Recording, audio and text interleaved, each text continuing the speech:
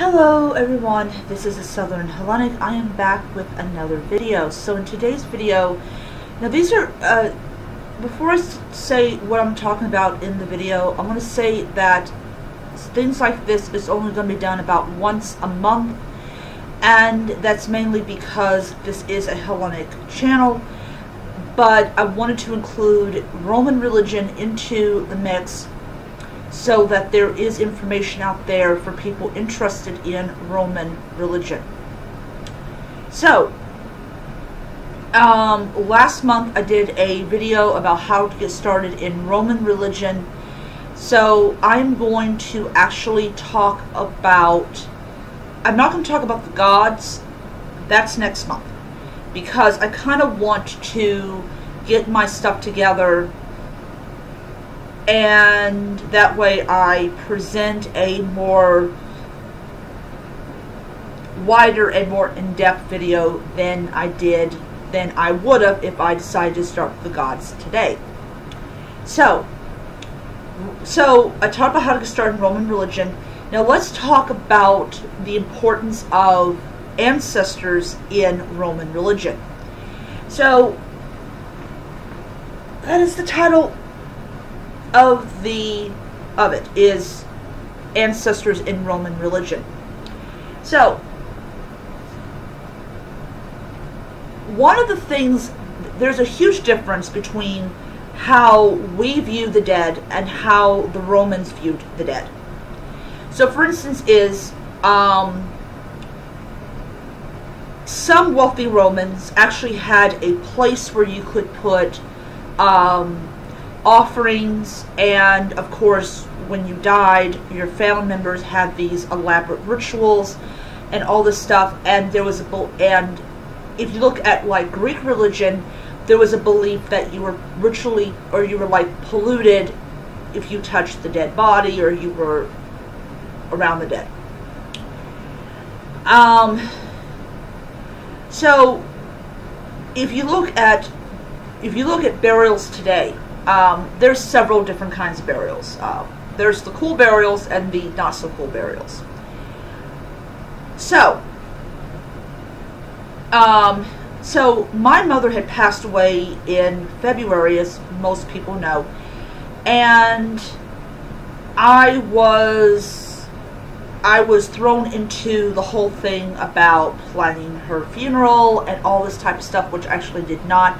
I just had her cremated um, that would prob that definitely would be wrong to do in ancient times. I'm pretty sure it's the same as in Greece as it is as it is in um, Rome. So the belief that you are ritually impure because you were around the dead or you were uh, or you handled the dead is a concept that we as modern Americans and in the modern world do not actually believe in. Uh, it is something that does not um, click in our heads. However, I have noticed that, or I did notice that when I got back from the funeral home, I did feel bleh, like I was dirty. And so that, that was just how I felt. So I actually went into the shower and put clean clothes on too. And I was ritually, I, I'm not ritually for myself, but more like getting rid of the blah. So um, when we talk about, we talk about ancestors in ancient Rome. So the show Rome actually showed uh, portions of food being offered to the ancestors. And I was, I'm actually a member of a group called um, Cultus Deorum. And I, and I thank them for all the nifty information I can get. And you go to your lararium and you you at you basically um, let me let me see how he said it. you go and you ask the ancestors if your recently deceased or a couple months ago deceased individual can be welcomed into among the ancestors. So I did that, except I um, I did a little differently. I forgot what I did, but um, I I did it, and I got nothing from the ancestors saying that they wanted her excluded. So I have a pretty good idea that it was accepted, and that's why that's why a lot of that's why I leave offerings to my ancestors and stuff like that because they're important. But ancestor veneration, no matter if it's Celtic or Norse or Roman or whatever, the impression that I get is that it was extremely important. And I think it is one of those practices that was very difficult to um, remove.